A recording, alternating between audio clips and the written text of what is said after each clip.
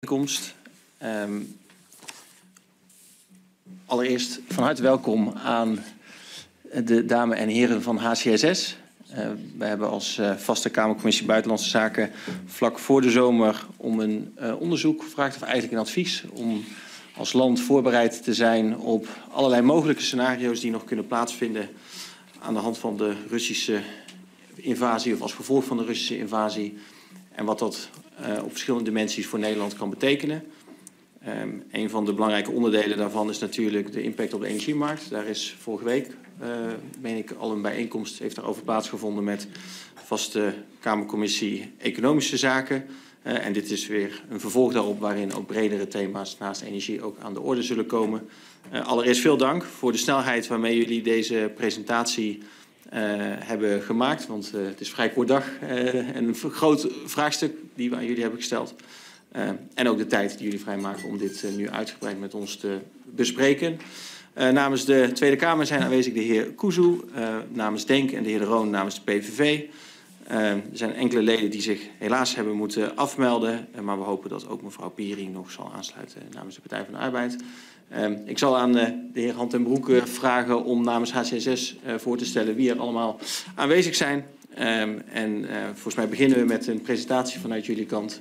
En daarna is er ruim de tijd voor vragen vanuit de leden en voor een open gesprek daarover. Heer ten Broek. Dank u wel, voorzitter. En dank voor de uitnodiging en de gelegenheid om als HCSS hier licht te werpen op um, de aanvalsoorlog van Rusland in Oekraïne. Uh, die niet alleen u, maar zeker ook ons instituut al, al geruime tijd bezighoudt. Um, um, ik zal beginnen met het voorstellen van de leden van uh, onze delegatie. Een aantal van de analisten die we hebben meegenomen aan mijn rechter. En voor uw linkerkant zit Frank Bekkers. Uh, lid van directie van HCSS en een van onze def defensiespecialisten. Um, dan Lucia van Geunst. En Lucia van Geunst heeft uh, twee weken geleden inderdaad al opgetreden bij de Vastkamercommissie van uh, Economische Zaken. Toen we heel specifiek over het energiedossier uh, met uw collega's uh, van gedachten hebben gewisseld. En tenslotte Michel Ramaaks, ook een van de leden van het directieteam van H66. Er zijn meer analisten die hebben bijgedragen aan deze quickscan die u ons gevraagd heeft te doen. En die we hebben gedaan op basis van een aantal, invalshoeken. Maar voordat ik daar um, uh, u even mee doorheen neem en aangeef welke selectie we hebben gemaakt voor deze presentatie, omdat we immers niet eindeloos veel tijd hebben. Um, en misschien een paar prealabele opmerkingen van mijn kant. Uh, we hebben een capita selecta gemaakt van uh, de onderwerpen. We hebben zes invalshoeken gekozen. Misschien handig dat ik ze dan ook maar direct even laat zien. Dat zijn deze invalshoeken. We hebben ze ook iets anders gerangschikt.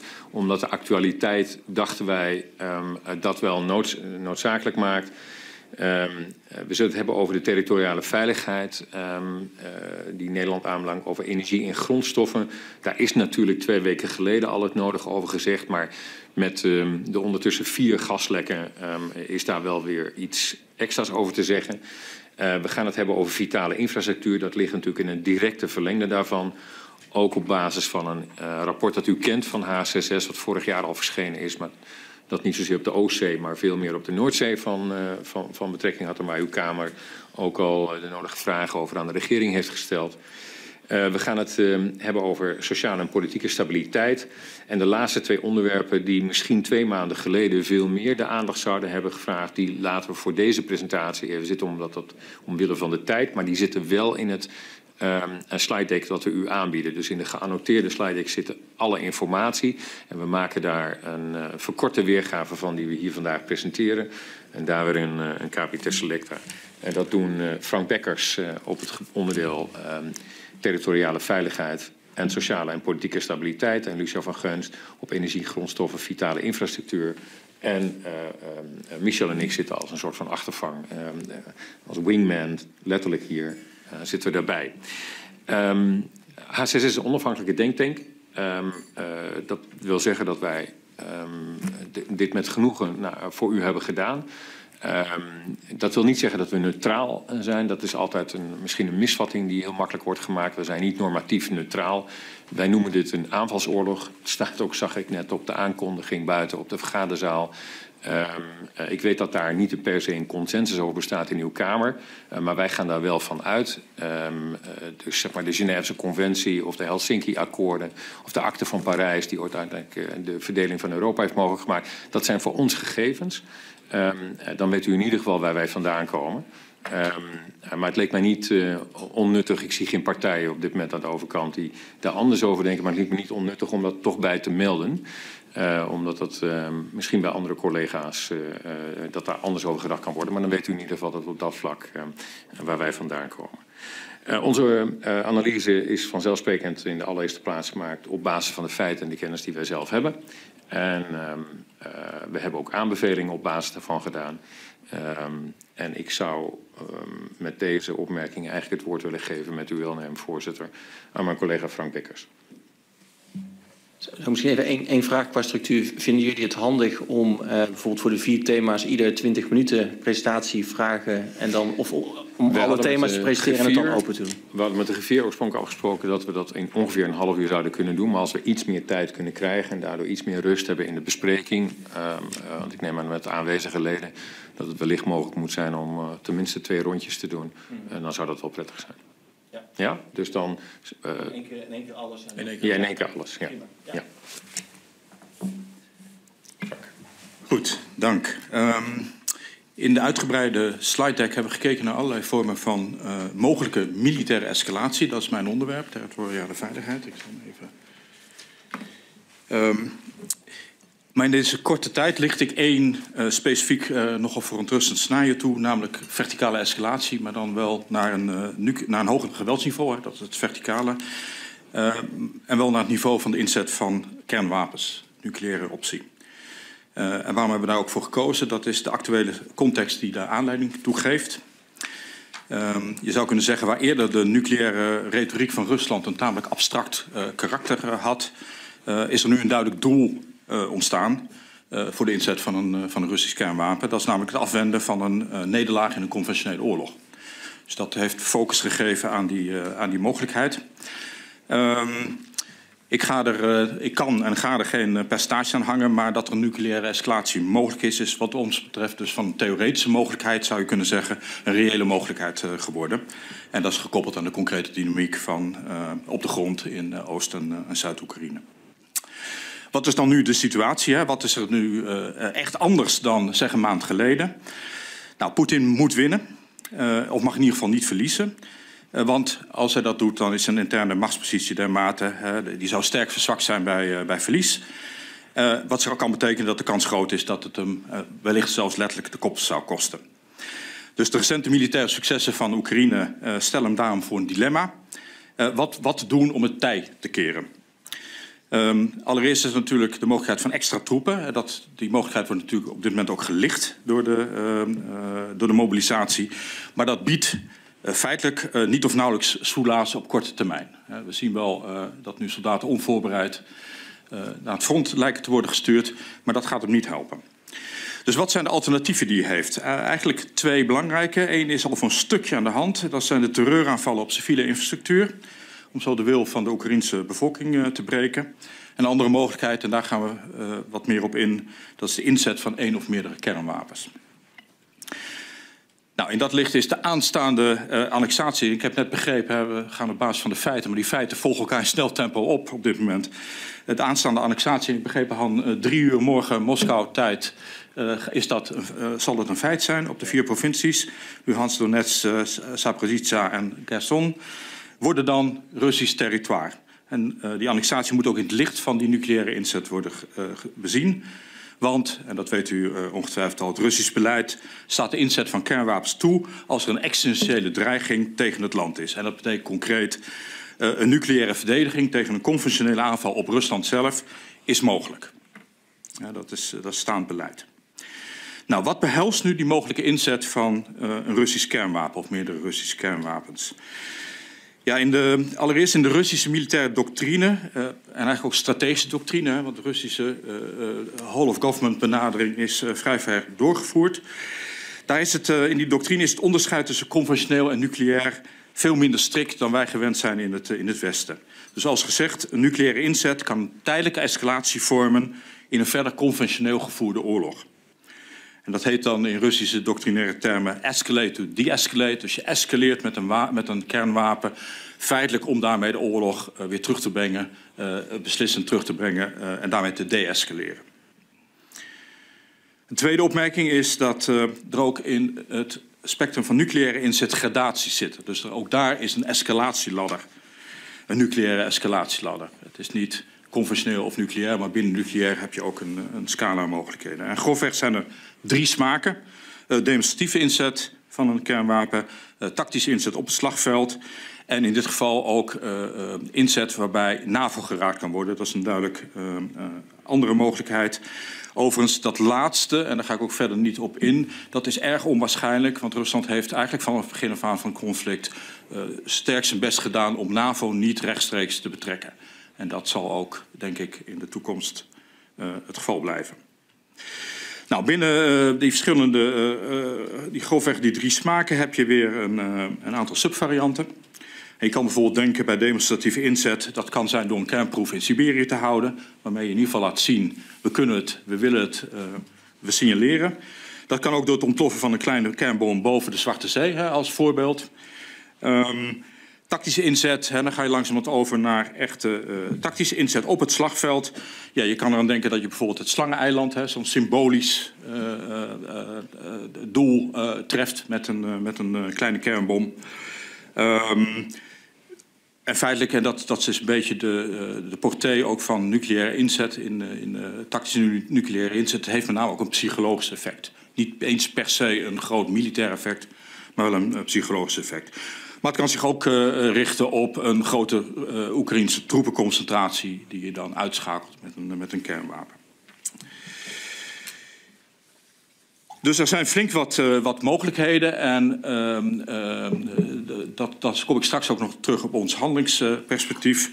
Ehm, de precieze omstandigheden tellen. Dus er zijn veel varianten mogelijk en het is vrij lastig om van tevoren precies te stellen welke variant komt voorkomt. Maar de details tellen en dat betekent ook dat je handelingsperspectief daarop moet, moet inrichten. ga ik over naar. Uh, dat schetst de situatie. Hè, een van de belangrijke scenario's, uh, de nucleaire optie. Oh ja, als uh, excuus de laatste opmerking. Um, er wordt wel gesteld dat. Um, uh, nee, ik heb nog een paar, uh, paar andere opmerkingen. Wat is nu de waarschijnlijkheid van een scenario waar Rusland uh, bijvoorbeeld een eerste vorm van demonstratieve inzet pleegt, met ons duidelijk signaal: we kunnen het, we willen het. Hè, het is geen bluff.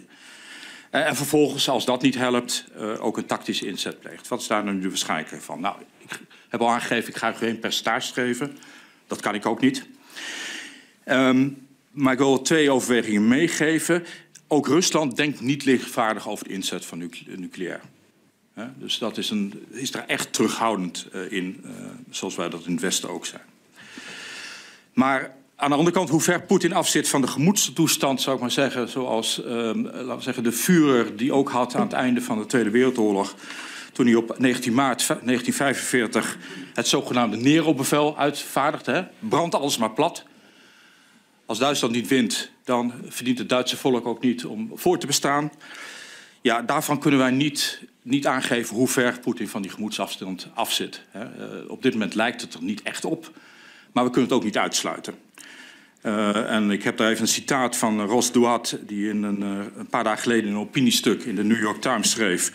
The aging Putin is more a reckless, ideolog ideologically motivated gambler than a gold-eyed statesman. Dat beeld wat we vroeger hadden. What does that imply for nuclear peril? Uh, peril? Nothing good. Dus uh, Dohat die geeft inderdaad aan dat dilemma waar we zitten. Wat is die de gemoedstoestand? Maar het kan, het kan echt verkeerd aflopen. Aan de positieve kant wellicht, de mobilisatie is in zekere zin een investering, een signaal weg van nucleair en een investering in conventioneel. Dus dat is dan misschien toch weer een uh, klein positief puntje. Dan de laatste opmerking. Naar onze inschatting is de druk van China en India, die natuurlijk op dit moment al ongelukkig zijn met de escalatie, En uh, zeker ook ongelukkig zullen zijn met een, uh, met een escalatie naar het nucleaire niveau. Uh, die druk die is ondergeschikt, naar onze inschatting, aan ja, de essentiële kwestie die voor het regime te grondslag ligt. Hè. Dus het verlies van Poetin is voor hem weegt zwaarder dan de druk van, van zijn, nou, zijn halve partners, laten we het daarop houden. Dus het relatieverlies uh, met die landen is eerder te repareren dan het reputatieverlies wat Poetin leidt en wat mogelijk tot zijn ondergang uh, zal leiden.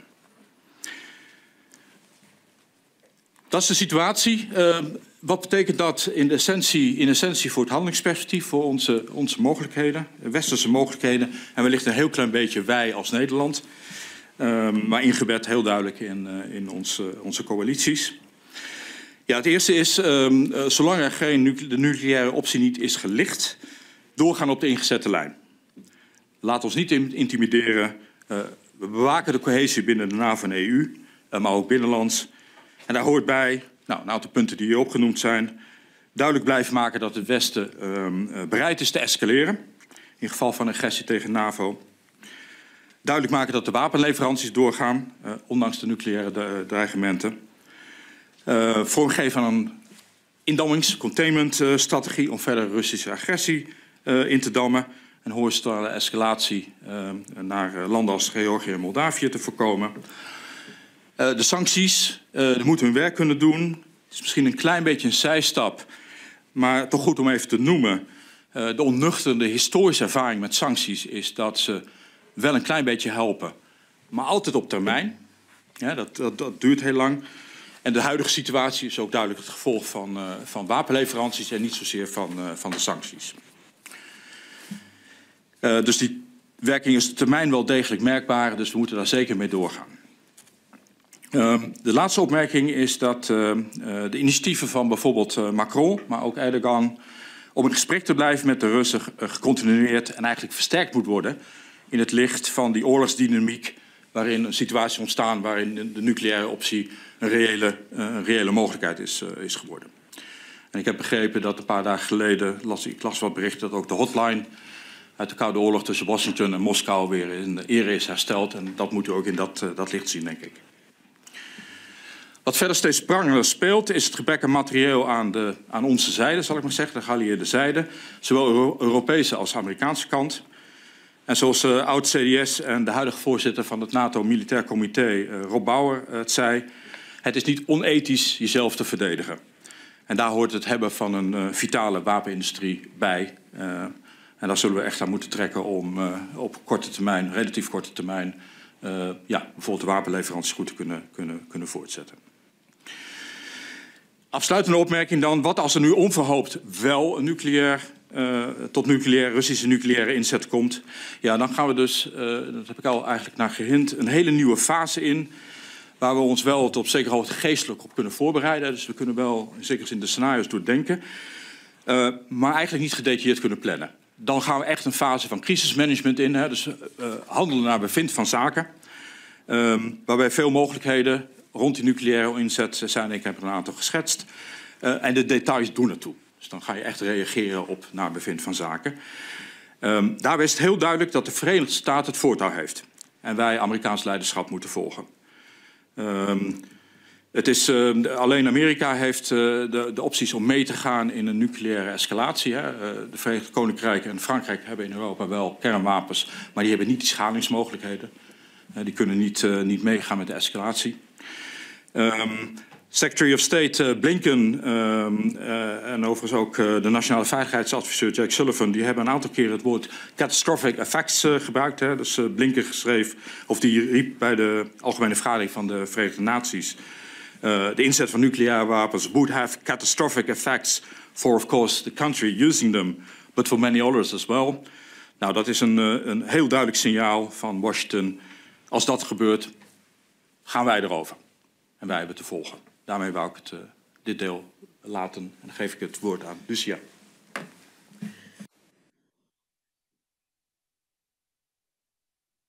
Ja, sorry. Absoluut. Dankjewel, Frank. Um, ik ga het eerst hebben over de actualiteit. Um, we zijn gisteren en eergisteren toch wel weer heel erg wakker geschud met betrekking tot ook onze energievoorziening, maar met name ook de vitale infrastructuur die natuurlijk belangrijk is voor energievoorziening. Er is een uh, uh, uh, aanslag, wij denken een aanslag geweest. In ieder geval de explosies duiden wel toch op een sabotageactie, zowel in Zweden als in Denemarken met betrekking tot de Nord Stream 1 en 2. We weten ook dat Nord Stream 1 en 2 niet meer actief zijn met betrekking dat er gas doorheen stroomt. Er zat nog wel gas in onder druk. Dat geeft natuurlijk ook die enorme, zeg maar, bubbelende zee. Al met al voor het milieu slecht verhaal, maar ook een soort van wake-up call. Hoe, zit dat nou met onze vitale infrastructuur? En vooral die ten aanzien van energie, maar natuurlijk ook andere in, infrastructuur als je praat over kabels en met name ook uh, telecommunicatie en datakabels. Nou, dat zijn zaken waar ik straks verder over, over ga praten. Maar uiteindelijk heeft dit, Nord Stream 1 en 2, uh, uh, zaak in zowel Zweden als Denemarken en let wel op, net buiten de territoriale wateren. Dus dit lijkt wel heel erg goed te zijn gepland. Niet binnen de 12 mijlzone om het maar zo te noemen. He, dus al met al iets waar we naar moeten kijken. En ook wie heeft het gedaan. Als we praten over de Russische gasexport, en dat is ons basisscenario, dan gaan wij er eigenlijk vanuit dat de huidige gasdoorvoer naar Europa vanuit Rusland blijft zoals die is, namelijk een laag niveau. We zitten nu op ongeveer 9% van de oorspronkelijke gasdoorvoer van Rusland naar Europa. Dat is nu 9% vooral door Oekraïne, maar ook door de Zwarte Zee.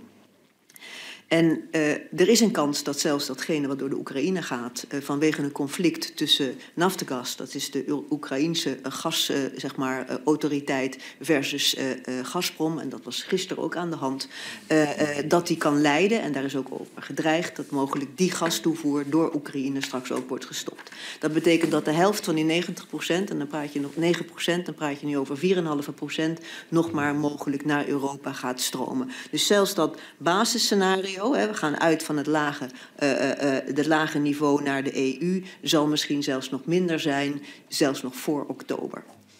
Al met al weten we dat omdat er veel meer, minder gas wordt doorgevoerd naar Europa, dat er al onrust is. We kennen het verhaal met betrekking tot leveringszekerheid. We weten ook dat naar de winter toe mogelijk het niet een leveringszekerheidsprobleem wordt in Europa en ook niet in Nederland, maar zeker een betaalbaarheidsprobleem. En dat zien we nu al. Uh, uh, tegelijkertijd moeten we ook rekening gaan houden met mogelijk andere scenario's. En die andere scenario's die zijn onder andere ook geuit door het Internationaal Energieagentschap. En dat is bijvoorbeeld het tweede scenario dat er een volledige stop is van de gasexport, waardoor we echt volledig afhankelijk worden van nog meer LNG-import en natuurlijk ook die import uit Noorwegen. Hoe belangrijk wordt dat nu, gegeven het feit dat dat door een pijpleiding uh, wordt geleid van Noorwegen naar Duitsland, maar ook nu met die nieuwe pijpleiding naar Polen. He, even natuurlijk als detail, die nieuwe pijpleiding die net geopend is naar Polen toe, een zijtak van de pijpleiding van Noorwegen naar, uh, naar Duitsland, die werd uh, gisteren geopend. Dus dat is toch een, een soort van symboliek die daar daarin zit, die naar mijn mening in ieder geval moet worden genoemd. Nou, als die, als die gasexport volledig stopt, hè, dat betekent dat we misschien voor deze winter nog wel oké zitten. Hè, vooral omdat wij in Europa bereid zijn om de hoogste prijs te betalen voor LNG. Hè, we weten ook allemaal dat alle LNG-tankers daardoor wel voorbij Pakistan en Bangladesh varen, omdat wij stom, domweg meer betalen. Dus het betaalbaarheidsprobleem is voor ons een issue. En we zien dat nu al aan de, aan de gasprijs. Gisteren ging die weer flink omhoog, over de 200 euro per megawattuur. En dat heeft natuurlijk niet alleen maar te maken met die aanslag in van de Nord Stream 1 en 2, maar vooral ook vanwege het conflict tussen Oekraïne en Rusland met betrekking tot de doorvoer van gas.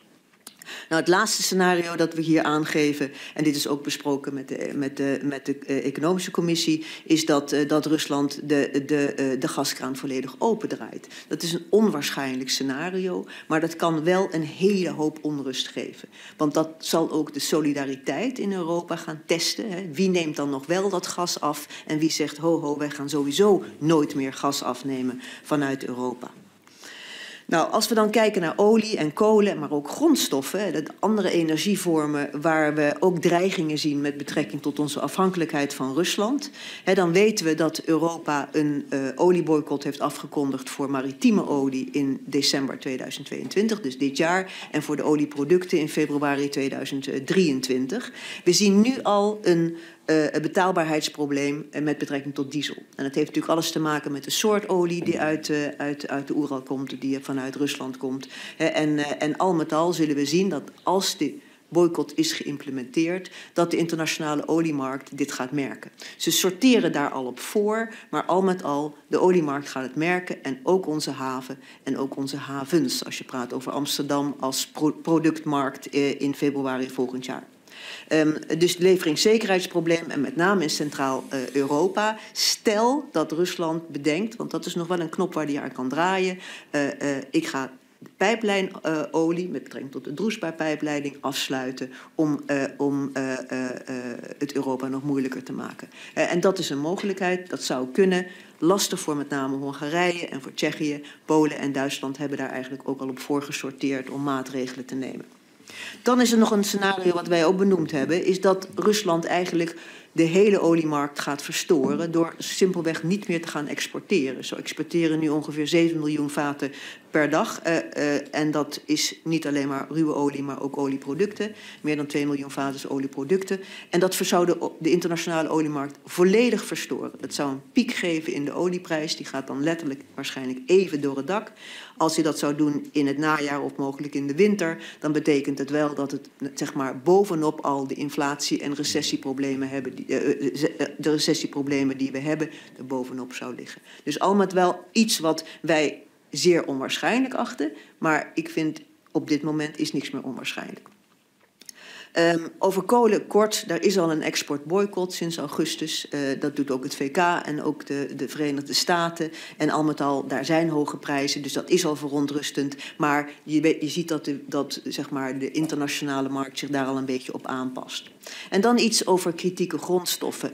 Rusland is ook een hele belangrijke exporteur van kritieke grondstoffen. En dat is belangrijk. We weten dat het belangrijk is voor onze energietransitie, voor de langere termijn. Hè, maar ook bijvoorbeeld voor onze chip, voor, voor, de, zeg maar de chipfabrikanten. En dan praat je met name over palladium. Maar als je praat over nikkel, aluminium en, en, en platinum, ik heb een aantal van deze kritische grondstoffen hier genoemd. Hè, dan zie je dat er verdere prijsstijgingen zullen zijn en verstoring van de markt en mogelijk zelfs leveringszekerheidsproblemen. Uh, en dat is met name ook in de energietransitie. Want vergeet niet, we gaan ongenadig veel windmolens bouwen, met name offshore. Ik kom daar zo direct op terug. En tegelijkertijd ook heel veel zonnepanelen installeren om die duurzame energie een, uh, een duw te geven. Nou, als je dan kijkt naar de aanbevelingen, ik ga hier niet al te uh, veel op in. We hebben het onderverdeeld in direct kort, korte termijn en ook in midden- en lange termijn. Dit, zijn vrij, dit is vrij veel detail, dat kunt u lezen. Ik denk dat het wel belangrijk is dat we moeten gaan denken aan, aan, aan, dat, aan wat als. We zitten, wat ik wel noem, in een strak jasje als je praat over de winter. We hebben, als alles goed gaat en de winter is relatief mild, dan zegt ook de gasunie, dan kunnen wij dat aan. Zowel in Nederland als voor een heel groot deel van Europa. Mocht er echter iets misgaan, Dan praat ik over LNG-aanvoer, maar ook bijvoorbeeld problemen met aanvoer via pijplijnen uit Noorwegen. Dan hebben we mogelijk een probleem. In eerste instantie misschien nog meer betaalbaarheid en dan mogelijk ook nog een leveringszekerheid aspect. En dat zijn wel zaken waar we goed naar moeten kijken. En uh, we moeten ook goed kijken hoe op die, met name die midden- en lange termijn, maar ook de winter hierna, in 2023, hoe we dat gaan inrichten. Want vergeet niet, in 2023 hè, hebben we niet meer het gas wat wij dit voorjaar en deze zomer wel hadden vanuit Rusland. Dat is er dan niet. Hè, dus wat in de komende winter en met name in de winter hierna. Nou, dan even drie kaartjes. En dan maak ik een stap naar infrastructuur, wat nu toch zo in, uh, actueel is geworden, gegeven uh, de aanslagen in, uh, in Zweden en, en, en Denemarken met betrekking tot de Nord Stream 1 en 2. Wij hebben uh, vorig jaar een studie gedaan uh, voor de vitale infrastructuur in de Noordzee. En met name de dreigingen en de risico's die daar op termijn, nu, maar ook in 2035 en 2050, zouden kunnen voorkomen. Een heel belangrijk aspect, en daar bent u zich ook van bewust, is dat er heel erg veel wordt gebouwd. Ik zou bijna zeggen, de Noordzee wordt een industrieterrein. En dat heeft alles te maken met de, uh, met de ambities die we hebben ten aanzien van de energietransitie. We gaan waarschijnlijk naar 21 gigawatt aan, uh, aan windmolens in 2030. Dat is afgesproken, ook met onze buren. En tegelijkertijd weten we dat er heel veel tenders uitstaan met betrekking tot de, die, uh, uh, die windmolenparken. We weten ook dat dat uiteindelijk allemaal gebundeld moet worden naar, uh, naar hoogspanningskabels. En dat gaat misschien wel door kabels van 2 gigawatt heen naar de kust. En dat betekent ook weer kwetsbaarheid. Kwetsbaarheid met betrekking tot kabels, elektriciteitskabels, maar ook kwetsbaarheid met betrekking tot de gasleidingen die er nog steeds liggen. Deze drie kaartjes die geven eigenlijk de de, de, de, de, nou, zeg maar de drukheid, of in ieder geval hoe druk het gaat worden in het, uh, zowel de territoriale wateren als ook in onze economische zone. Uh, met betrekking tot met name nieuwe energie. Dan praat ik niet alleen maar over windmolens, maar mogelijk ook floating, uh, floating zonnepanelen en ook nog stopcontacten op zee, om het maar eventjes zo te noemen. die vitale infrastructuur, een van de, van de aanbevelingen die wij in dit rapport hebben gegeven, is dat wie neemt nou eigenlijk de verantwoordelijkheid? Wie neemt de bestuurlijke verantwoordelijkheid? Wie is nou ik de autoriteit als je praat over het aanspreekpunt in het geval van um, uh, uh, aanslagen, in het geval van een, een, een kritische situatie? Wij zijn uh, er eigenlijk achter gekomen dat die in Nederland niet bestaat. Die is er wel bijvoorbeeld in België. Die heeft een, een, een minister voor Justitie en Noordzee. Er is een autoriteit in het Verenigd Koninkrijk, hè, waarin in feite alle partijen die actief zijn in de Noordzee met elkaar praten over wat zijn de plannen en waarin veiligheid een heel belangrijke rol speelt. En wij hebben deze studie gedaan in opdracht van de kustwacht en de marine. En, en, en, en, en wat dat betreft is de bestuurlijke verantwoordelijkheid, de autoriteit, hè, en die vraag wordt nu ook gesteld in het kader van de huidige situatie met betrekking tot kritische infrastructuur, is nog niet duidelijk en zou beter moeten worden ingevuld. Nou, we hebben een aantal uh, dreigingen met, met betrekking tot de vitale infrastructuur um, uh, hier aangegeven. In, in uw slidepack staan er nog veel en veel meer. Ook betrekking tot communicatie, drinkwater, transport. Ik ga daar niet, niet op in. Uh, ook met betrekking tot de aanbevelingen. Ik wou echt die ene die ik net benoemde. Hè, die versterkt de robuustheid van de infrastructuur op en onder zee. En, uh, en met name uh, uh, kijk naar wie is daar nou eigenlijk ver verantwoordelijk voor. Hè, en, wie, en ook met betrekking tot de tenderingprocedure, die bijvoorbeeld nu bij EZK plaatsvindt voor windmolens. Hè, probeer daar in ieder geval heel duidelijk aan te geven dat daar een veiligheidsaspect bij zit. Hè, die ook consequent wordt doorgevoerd en wordt meegenomen in dit, dit hele infrastructuur en vitale infrastructuurverhaal. Daar wil ik het nu bij, bij laten. Geef ik het weer terug aan Frank. Voorzitter, uh, nog twee slides, maar ik hou het echt heel, heel kort. Um, dat gaat over de dreiging uh, van het ondermijnen van de sociale en politieke stabiliteit in, uh, in, in Nederland. En het argument wat ik hier heel kort wil, wil opvoeren is tweeledig. Eén, er is een duidelijke voedingsbodem voor frictie en onrust die aangrijpingspunten biedt voor desinformatie, in dit geval Russische desinformatie. Um, en twee, uh, Rusland is in beginsel uitstekend in staat om die aangrijpingspunten uh, voor het aanjagen van onrust uh, te herkennen en uit te buiten. Um, het verwondert ons eigenlijk een klein beetje, zou je kunnen zeggen, dat uh, de hybride campagnes die we eigenlijk al een aantal jaren um, zien gebeuren in westerse landen en voor een stukje ook in Nederland, dat dat eigenlijk bij mijn weten niet is opgevoerd de afgelopen tijden, ten tijde van de, van de oorlog sinds, sinds februari dit jaar. Um, de dreiging, dus we hebben hier, um, ik ben al, ik zie dat ik één, te ver ben. Uh, dus dit zijn eigenlijk de twee argumenten die we zeggen. Er is een voedingsbodem en uh, de Russische desinformatiecampagne heeft voldoende aangrijpingspunten om die voedingsbodem uit te buiten. Um,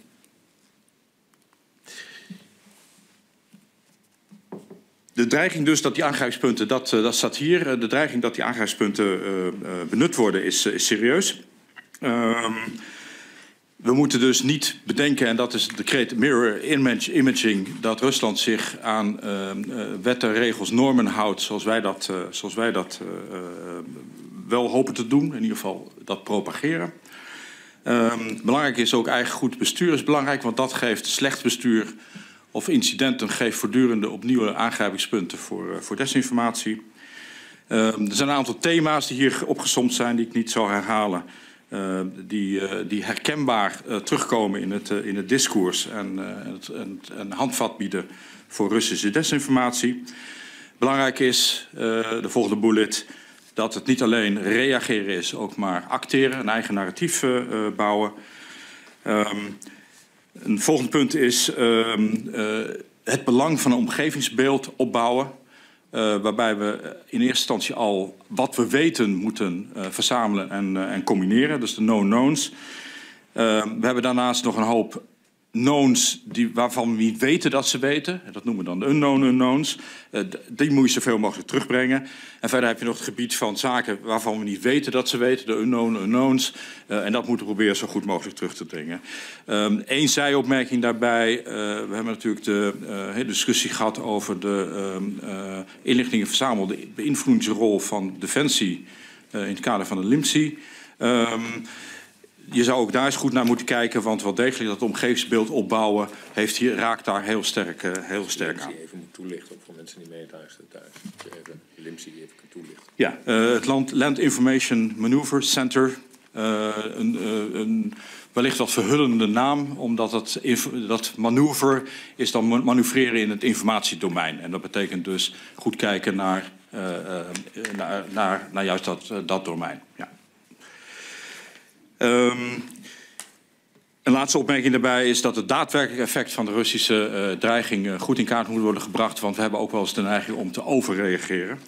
Uh, en overdreven mitigerende maatregelen, zoals je dat zou, zou kunnen noemen, leiden weer tot, tot weerstand en daarmee contraproductief. Laatste opmerking daarbij en dan sluit ik af en dan zijn wij ook klaar wat onze presentatie betreft is um, ja, toch een, uh, met uh, figuren als Tucker Carlson in de, in de VS, uh, die op Fox News erg actief is, en die de samensweringstheorie dat de Verenigde Staten de Nord Stream 1 en 2 heeft gesaboteerd, sterk propageert. Nou, met zulke vrienden heb je eigenlijk geen Russische inmenging meer nodig. En daarmee wou ik het laten. Dank u. Voorzitter, we hebben gekozen uh, voor deze invalshoek omdat die ons het meest actueel leken. Dat had over twee weken weer anders kunnen zijn. U vindt alles uitgebreid terug in de, uh, de pack die we uh, eerder vanmiddag al hebben gestuurd en die waarschijnlijk ook aan u is toegezonden.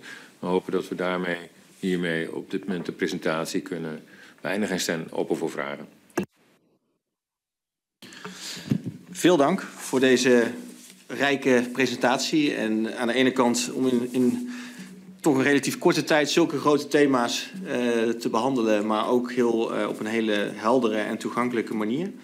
Um, ik heb meegeschreven en ik heb allerlei vragen, maar ik kan me voorstellen dat voor mijn collega's hetzelfde geldt. Uh, ik zou willen voorstellen om niet per se een, een, maximum te stellen gezien de beperkte groep aan het aantal vragen, maar gewoon even een rondje te maken met uh, alle eerste vragen die wij hebben. En dan uh, nou, dat jullie daar vervolgens weer op kunnen reageren. Dus ik stel, stel, voor dat als u dat doet, dat, dat, u ons ook even de gelegenheid geeft om de vragen te allokeren voor ja. zover dat um, uh, ja. mogelijk is. Ja, ik moet zeggen, ik had persoonlijk het uitgebreide pack nog niet ontvangen volgens mij. Dus we, we, we, stellen de vraag op basis van deze, deze presentatie. de heer Kuzu. Ook vanuit mijn zijde dank voor de presentatie. Ik heb inderdaad ook het uitgebreide pakket nog niet gehad, niet kunnen bestuderen. Uh, in ieder geval, dat heb ik nog niet gezien. Maar waardevol wat we tot nu toe vanuit uh, de zijde van HCSS hebben kunnen uh, ontvangen. Um, nou, en eigenlijk om te beginnen met, met de heer Bekkers. U gaf aan dat, dat wanneer er sprake is van uh, de window of opportunity voor de Oekraïners, dat er twee uh, opties zijn. Nou, eigenlijk hebben we de eerste optie al gezien, uh, namelijk de aanval op kritieke infrastructuur. En de tweede is dat u ook aangeeft dat er sprake zou kunnen zijn van nucleaire inzet met, met een escalatieladder. Ehm, zou u nog een toelichting kunnen geven over de tredes op die escalatieladder? Ik ben daar wel uh, benieuwd naar. Dat als eerste. Tweede, uh, als we dan toch in de volgordelijkheid spreken, mevrouw Van Geuns, uiteraard ook dank voor uw uh, expertise die u met ons heeft gedeeld. Um, u geeft aan dat er een scenario, hè, dat is dan de scenario die dan de waarschijnlijkheid krijgt met de categorie misschien dat wanneer de Russische gasexport volledig stopt naar de Europese Unie, dan vraag ik me af, hè, Rusland heeft natuurlijk, Poetin heeft natuurlijk ook andere afnemers in de wereld. Um, en dan bestaat natuurlijk ook altijd de mogelijkheid om via via dat, dat Russische gas toch weer in Europa te krijgen. Nou, ik weet niet of ik dat heel hardop moet zeggen, aangezien het ook een openbare vergadering is. Volgens mij gebeurt dat al een beetje. Um, kunnen we dat voorkomen? Vraagteken. Dank. Dank. Uh, de heer De Roon, mag ik u vragen om uw vraag te stellen? Ja, ik zou uh, ironisch kunnen zeggen uh, bedankt voor deze geruststellende woorden. Uh, maar het is natuurlijk uh, het tegendeel, en dat stel ik ook op prijs trouwens hoor, dat u geen, geen, geen, doek, geen blad voor de mond neemt. Het is heel belangrijk dat we precies weten waar we aan toe zouden kunnen komen. Um, ja, voor wat betreft het oorlogsscenario met nucleaire wapens um, begrijp ik nog niet helemaal de, de redenatie in de volgende zin. U heeft gezegd, meneer Bekkers, dat naar uw idee Rusland niet uit is op een confrontatie met het Westen. Uh, en uh, als u dus die escalatieladder beschrijft, dan, dan richt hij zich ook op Oekraïne. Um, ja, daar hebben we natuurlijk te maken met een speler, meneer Zelensky, die zegt: Nou, uh, Rusland uh, die wil die gebieden die van ons zijn niet afstaan. Maar wij willen ze wel terug hebben. Um, dus je hebt te maken met een speler, um, wij als het Westen hebben te maken met een speler waar we geen greep op hebben. Um, zeg ik er nog, niet alleen geen greep op hebben, maar waarvan de leiders van uh, meerdere landen, in ieder geval ook Nederland, zegt: uh, meneer Zelensky bepaalt wanneer de strijd uh, zal eindigen. Um, en dat vind ik een hele lastige situatie. Um, en zeker ook als het tot een uh, nucleaire escalatie komt, dan zou je dus kunnen redeneren van, nou, meneer Zelensky, je hebt het dan maar gemaakt. Um, you're on your own.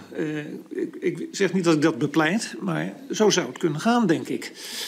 Um, want waarom zouden wij ons ook maar enigszins in zo'n nucleair gebeuren in de nest te werken?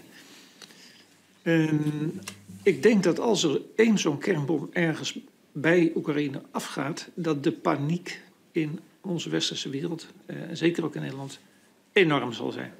Enorm zal zijn onder de bevolking. En ik vraag mij af of, of de regering dat dan nog ook weet te dempen, in de hand weet te houden. Ik weet niet of u daar ook naar gekeken heeft, ook in het kader van het begrip uh, sociale veiligheid, maar dat interesseert mij dan wel.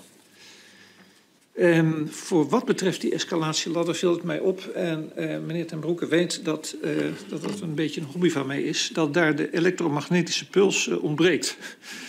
Um, terwijl ik denk dat dat misschien juist wel een heel effectief middel zou zijn om zeg maar, Oekraïne totaal te ontregelen.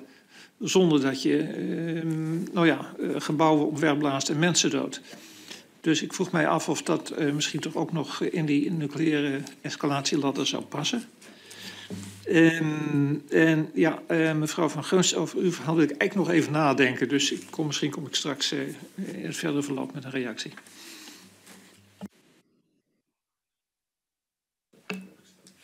Ja, want ik, heb, ik heb zelf ook een reeks vragen en ik loop ook de onderwerpen gewoon even, even langs. Um, wat betreft alles rondom de territoriale veiligheid. Um, kijk, we zien natuurlijk de retoriek maar het is niet zo dat in de praktijk ook al zichtbaar is dat de voorbereidende stappen worden gezet. Um, mijn vraag zou zijn, wat jullie betreft, wat zijn de voorbereidende stappen waar we echt op zouden moeten letten? En wat zijn zeg maar dan de, de red flags, waar je zegt van nou, als, als, als Rusland daartoe overgaat tot die voorbereidende handelingen, dan weten we eigenlijk welke kant uh, dat ze opgaan. Um, daaraan gerelateerd de escalatieladder, dat is heel duidelijk met die drie stappen. Um, in hoeverre is dat in de Russische doctrine ook zo dat je die ladder af zou moeten lopen? Of kun je ook een tree op die ladder overslaan uh, en bij wijze van spreken meteen overgaan tot een uh, inzet van een tactisch wapen op het slagveld? Um, en ik was heel benieuwd om nog even van gedachten te wisselen over het vormgeven van die containmentstrategie. Hoe zou dat er wat jullie betreft uitzien? en dan twee hele specifieke vragen. Eén, zou dat bijvoorbeeld ook kunnen zijn om uh, niet alleen net zoals nu met de HIMARS de 80 kilometer raketten in te zetten of die te leveren, maar ook de 300 kilometer, wat wel echt ook op het slagveld uh, tot een andere dynamiek zou kunnen leiden. Um, en twee, in hoeverre zou, want we komen de Russen natuurlijk ook wel op andere plekken in de wereld tegen. Um, op allerlei manieren. Je zou ook in, het kader van een horizontale escalatie kunnen zeggen... we gaan op die gebieden of op andere delen in de wereld gaan we uh, acties ondernemen. Uh, bijvoorbeeld uh, in Georgië of in Moldavië, dat we helpen om daar iets te doen. In hoeverre zou dat, denken jullie, impact hebben op, op Rusland? Um, dan wat betreft de energie... Um, vroeg ik mij af, punt 7, dus het inzetten van kritieke grondstoffen als drukmiddel. In hoeverre doet Rusland dat al? Uh, ik heb er tot nu toe weinig over gehoord, over gelezen.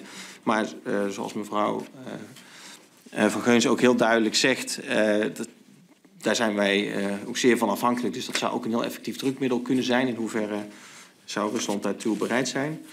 Um, en wat betreft de vitale infrastructuur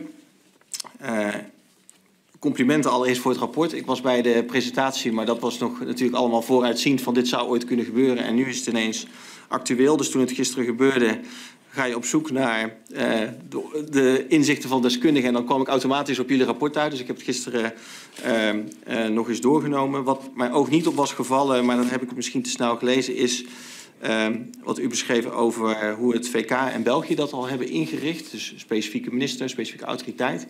Uh, wat zou jullie concrete aanbeveling voor Nederland zijn? Even de context van Nederland en Noordzee kennende. Uh, van welk land zouden wij het meest kunnen leren wat dat betreft? Um, en dan wat betreft de uh, sociale en politieke stabiliteit en de desinformatie. Um, vroeg ik mij nog af, kijk, wat je in, het, in, in Nederland ook wel ziet, is dat naast de vijf thema's die hier worden genoemd, dat wordt gezegd uh, Rusland, dat is het, het echte leiderschap. Hoor. Dat is het masculine leiderschap. Dat is een ander type uh, cultuur dan, uh, dan de zwakte, zoals hier ook wordt genoemd. Hè. Instorte westerse cultuur is nabij, maar daar wordt dan een sterk Rusland tegenover gezet. Um, zien jullie dat dat ook actief als narratief vanuit Rusland wordt gestimuleerd? Of is dat meer hoe daar in het Westen door een hele specifieke groep verder invulling aan wordt gegeven? Um, en mijn tweede vraag is wat betreft het bouwen van een eigen narratief. Um, vroeg ik me af of jullie daar verder over hebben nagedacht over wat komt nou aan bij hier zowel de groepen in Nederland die het Russische narratief volgen als uh, de groepen die wij in Rusland misschien zouden willen bereiken. Want uh, het dilemma wat ik zie is dat wij, laat ik het zo maar even zeggen, gebruiken bepaalde taal, principes, uitgangspunten die voor ons, of voor de grote meerderheid vanzelfsprekend zijn. Eh, maar willen juist die andere groep overtuigen. En die spreken een andere taal, andere termen, andere principes. Ehm, ik vroeg me af of jullie daar verder over hebben nagedacht. Ik, dank voor deze drie reeksen aan vragen. Um, ik denk dat we redelijk hebben kunnen meeschrijven en ook de vragen redelijk hebben kunnen allokeren. Um, ik stel voor dat uh, Frank begint, Frank Bekkers begint. En dan, of, of, uh, en dan, serie aan vragen afhandelt. En serie aan vragen afhandelt. Um, als er verder verduidelijkingen nodig zijn, dan moet u vooral uh, tussenwerpingen maken. dan, dan Lucia en Michel en ik zullen daar waar nodig nog even aanvullen. Dan uh, pakjes uh, met uw welnemen in volgorde, uh, de heer Kuzu. Um, de window of opportunity en de, die Oekraïne kan pakken, Rusland in nauw drijft. En wat heeft Poetin er nog aan mogelijkheden? Terreuraanvallen, dat laten we even, even, even zitten. Nucleaire optie. de treden op escalatieladder. Um, dat sluit ook aan op de vraag van de heer De Roon, uh, die nog een andere mogelijkheid noemt, de EMP-puls. Uh, dus wat ik heb geschetst is de, uh, de escalatieladder. En heel grofstoffelijk is dat demonstratieve inzet. Daarmee laat je zien, ik kan het, ik, uh, ik bluff niet. jongens, hou op, want anders ga ik nog een, stap verder. dat, is, dat is het eerste niveau. tweede niveau is de tactische inzet. Dus op een, op een slagveld. Maar dat komt ook weer in heel veel smaken. Ja, feitelijk een derde inzet. En dat is eigenlijk um, wat we uit de geschiedenis eigenlijk vaak denken dat, een nucleaire, oorlog eruit ziet. Dat is escalatie naar uh, het strategisch niveau. Dat is eigenlijk wat we vroeger bedachten. De raketten in uh, Amerika en de raketten in Rusland staan tegenover elkaar. Als je de ene afvuurt, als uh, repercussies vuur je de andere af. En dan heb je de totale Armageddon. Nou, dat laatste beeld, um, dat is iets wat in het verleden wel gold... maar door allerlei technologische ontwikkelingen eigenlijk niet meer als zodanig opgaat. Want we hebben allerlei mogelijkheden om um, uh, wat dan in jargon heet kleine yields. Kleinere atoombommen die eigenlijk gewoon ook een tactisch effect op het slagveld hebben. Dus niet gelijk heel Washington ligt plat, heel Moskou ligt plat. Maar het is eigenlijk het, effect van heel veel artilleriegeschut, zou je haast kunnen zeggen. Met af, dat is het militaire effect natuurlijk. Het psychologische effect is een heel andere, hè, dat is duidelijk. Um, dus je hebt daarin, inmiddels door allerlei technologische vooruitgang, heb je een heel scala aan, aan, aan, aan stappen uh, nou, grofstoffelijk heb ik die geschetst en daarbinnen zijn nog een aantal, aantal verschillende smaken denkbaar. Dat betekent ook, en dat is waar de Russische doc doctrine denk ik verder is dan in de, dan, laten we zeggen, de NAVO-doctrine, is dat je ook in zekere zin een geleidelijke overgang van, nucleair, van conventioneel naar nucleair kan krijgen en weer terug. Dus niet zo conventioneel is over, we gaan naar nucleair en dat is eigenlijk het einde van de wereld. Nee, je hebt, je hebt daar meer mogelijkheden, uh, mogelijkheden in. Um, geeft dat de verduidelijking die u zocht? Ja. Als ik dan daar even, dan wip ik toch even uh, um, uh, terug naar de elektromagnetische puls. Hè. Dus wat, wat, wat gebeurt er dan? Dan laat je een atoomwapen in de atmosfeer ontploffen. Dat geeft een ongelooflijke hoeveelheid energie die zich verspreidt over de aarde. En dat betekent dat nou, chips, geïntegreerde circuits, uh, uh, telecommunicatieverbindingen eigenlijk doorbranden, omdat ze die energie absorberen en daarmee eigenlijk ontploffen. Dat betekent dus dat je een heel land feitelijk plat kan leggen. De elektriciteit valt uit, computers vallen uit, kabels vallen uit. Dat is de toepassing van de, de EMP-puls. dat kan je overigens ook met nucleaire middelen, maar nucleair is dan wel een een stevige, zal ik maar zeggen. Um, ik heb hem niet genoemd, maar ik had hem ook wel kunnen noemen, want dat is inderdaad op die, die de, de, de, verdere verfijning van die escalatieladder, is dat een hele reële mogelijkheid. Het gevaar is. Ja. Korte aanvulling. Korte aanvulling zou kunnen zijn. Ik bedoel, dat is niet uh, uh, discretionair of uh, tot alleen onze eigen eenheden of onze eigen land. En dus het raakt ook bijvoorbeeld als je een tactisch wapen boven Oekraïne uh, een EMP-puls zou willen laten veroorzaken, vrij zeker dat ook Russisch materiaal daar niet tegen bestand is. Dus de vraag is of dat voor hen zo uh, bevorderlijk is om te doen überhaupt. En uh, dat de redenering nog wat verder zetten, dat kan, kan ook betekenen, hè, dus je hebt dat niet precies in de hand wat je raakt. Dat zal dus ook NAVO-gebied kunnen treffen. En dan kan het een act of aggression met alle gevolgen van dien zijn. Um, even kijken. Uh, ja, Zelensky, uh, daar hebben we geen greep op. Nou, wij als Nederland wellicht niet. Washington tot op belangrijke mate denk ik wel. overigens.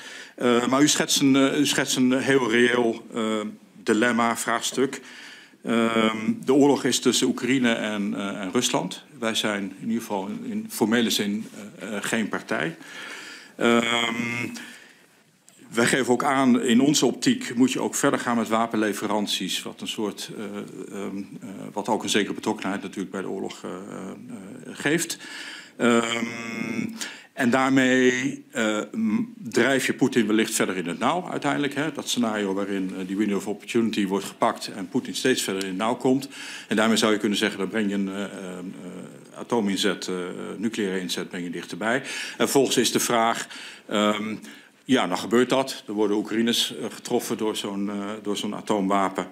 Wat dan? Wat moeten wij daarmee? Um, dat is een hele reële vraag. Uh, het is niet per se zo dat, denk ik, maar ik ken de juridische haargeloverij niet precies, maar dat daarmee in artikel 5 per definitie wordt, wordt afgeroepen. Dus als er een, laten we zeggen, boven Gerson een, een atoomwapen wordt gedaan waar we, waar we in Polen niks van, van merken, zal ik maar zeggen.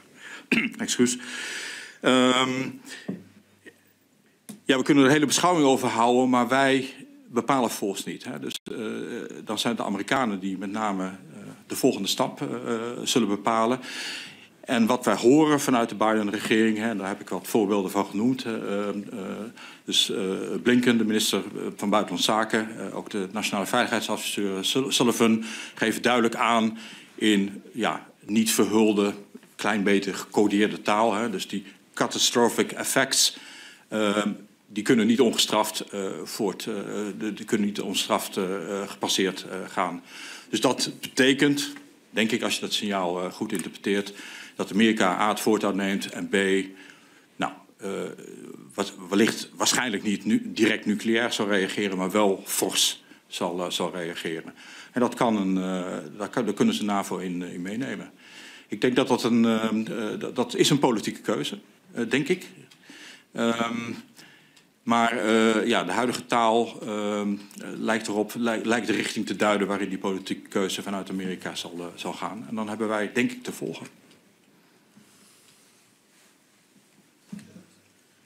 Nou, laten we misschien even de ronde doen. Dan maken we. Ja. De, de heer De Roon moet iets eerder weg, dus laten we even kijken hoe lang het duurt. Want anders ja. dat we in ieder geval daar de ruimte voor hebben. Maar ik stel voor dat we even eerst weer de ronde ja. doen en dan nog een tweede ronde. Dan uh, de heer Brekkelmans, wat zijn de voorbereidende uh, stappen?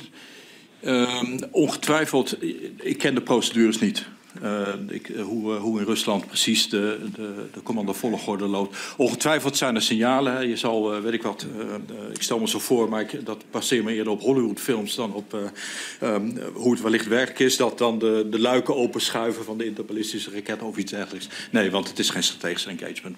Um, ongetwijfeld zijn er signalen. Ik denk dat de inlichtingendiensten daar zeer keen op zijn. Ik kan ze u niet precies noemen, dus ik moet u dat antwoord schuldig blijven. Die escalatieladder, ja, wel degelijk kan je natuurlijk treden overstaan. Je kan direct naar uh, uh, tactische inzet uh, gaan. Hè. Dus die demonstratie, ik kan me voorstellen dat dat een, in de opbouw wel past, maar het hoeft niet. Dus je kan treden overslaan. Um, containmentstrategie, hoe die vorm te geven, ja, dan even toch terug. Wat is containment? We hebben daar natuurlijk een historische, laten we zeggen, uit de Koude Oorlog is dat begrip afkomstig, hè, containment. Feitelijk betekent dat in hele grote lijnen dat we in Europa een ijzeren gordijn neerlieten gaan. En dat uh, markeerde eigenlijk de, de grens tussen de, de twee werelden, het Warschau-pact en, uh, en, en, het Westen, de NAVO.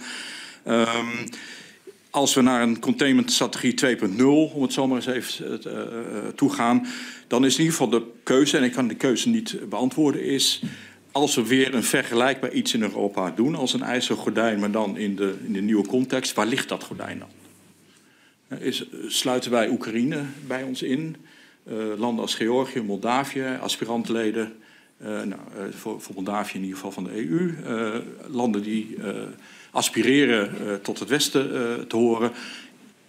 Laten we die dan expliciet aan onze kant van het gordijn vallen uh, expliciet aan de andere kant of laten we dat in het midden. Nou, dat soort, dat is in ieder geval, ik, geef geen antwoord hoe je die containmentstrategie moet doen, maar dat is in ieder geval een hele belangrijke keuze die een rol speelt als je die containment vorm moet geven. Dus daar moeten hele, um, denk ik, zware politieke beslissingen worden, worden genomen. En ik denk dat ik daarmee de vragen rond defensie, rond de territoriale veiligheid heb beantwoord.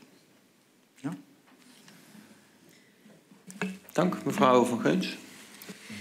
Ja, de vraag van de heer Kouzou over uh, de gasexport naar Europa. En nu dat dus nagenoeg, uh, althans heel veel minder is geworden, waar gaat dat dan nu naartoe? En zijn er nieuwe afnemers? Nou, even om het globaal te zeggen: Rusland uh, heeft één grote afnemer en die is hij nu kwijt, want dat is Europa. Alle infrastructuur, die eigenlijk al dateren vanuit de Sovjet-Unie, die gaan van oost naar west. Het grootste deel van de velden ook, die, zeg maar, die uh, bedienen Europa. Dat, dat is het verhaal. Door zowel Wit-Rusland, de Jamal-pijpleiding, later natuurlijk die Nord Stream die gekomen is, natuurlijk ook door de Oekraïne en ook nu die nieuwe pijpleidingen door de Zwarte Zee. Tegelijkertijd heeft uh, Rusland ook een LNG-project um, uh, uh, afgeleverd. En dat is in Jamal. En ook al in het verleden in Sachalin, waar onder andere ook Shell en Exxon actief waren. Sachalin, en dat is het eiland natuurlijk helemaal in het oosten van Rusland, dat bedient Oost-Azië. En, en dat is nog steeds het geval. Ik kom daar zo direct op terug in verband met mogelijke bypassing van Sachalin in Oost-Azië... en dat dat dan uiteindelijk ook toch weer hier in Gate aankomt. Uh, daar kom ik zo direct op terug. Maar al met al, andere afnemers vinden binnen zo'n korte tijd is denk ik voor Rusland, denk niet, ik weet zeker voor Rusland bijna onmogelijk. Er is één pijpleiding die naar China gaat. Dat is eigenlijk nog niet eens een grote pijpleiding. Daar hebben ze heel lang over onderhandeld. Want China is ook wel een hele, ja, zeg maar, uh, uh, goede onderhandelaar. Met betrekking tot de gasprijs. Wij betaalden in Europa eigenlijk altijd de hoofdprijs in de ogen van Rusland voor hun gas. Nou, dat is nu klaar. Oftewel, ze zullen gewoon echt veel minder inkomsten gaan genereren. Alhoewel al hetgene wat ze nu exporteren is wel voor een veel hogere prijs. Dus uiteindelijk in het afgelopen half jaar hebben ze ook wel heel veel verdiend nog aan die export, ook al is het veel minder. Maar om in een korte tijd dat uiteindelijk te gaan ombuigen naar een ander land is, is bijna onmogelijk. Voordat je die pijpleidingen hebt liggen en vooral daar in Oost-Siberië, eh, dan ben je veel langer kwijt. Qua, eh, met betrekking tot, tot LNG, wij krijgen LNG nog steeds uit Jamal. En dat wordt niet door Gazprom verzorgd, maar door, een, door Novatek. Dat is een, samen met Total Energy. Dat is in feite een, uh, een, een privaat Russisch, Russisch bedrijf. Maar daar heeft Poetin ook wel degelijk uh, eventueel invloed op. Dus dat zou ook mogelijk een stroom zijn die zou kunnen opdrogen. Hè, voor het geval dat. Maar er komt nog wel redelijk wat binnen. Ook in, hier in Rotterdam. Uh, voor, met betrekking tot Russisch LNG. Maar Sachalin gaat eigenlijk allemaal naar Oost-Azië. En nu was het zo dat in de zomer met name Oost-Azië een heleboel van het gas niet nodig was. Had. Dus in principe was het nog wel af en toe zo dat dat gas dan toch nog zijn weg vond naar Europa.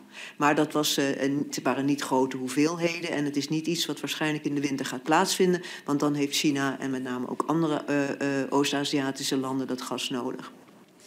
Dus zover met betrekking tot die vraag. Um, uh, uh, de heer Brekemans stelde een vraag over de kritische grondstoffen vanuit Rusland en in hoeverre die al ingezet zijn uh, als een soort van wapen. Dat is naar ons weten niet echt het geval. Dus de, de, grondstoffen die ik noemde, er zijn er nog meer, die eigenlijk is die handel nog steeds aan de orde. Maar het is iets wat we niet kunnen uitsluiten. En ik denk dat we ook in Nederland, en dan kijk ik ook even naar Michel Rademakers hier aan mijn rechterkant, eh, er moet een duidelijk grondstoffenbeleid komen, zowel in Nederland, maar ook in Europa.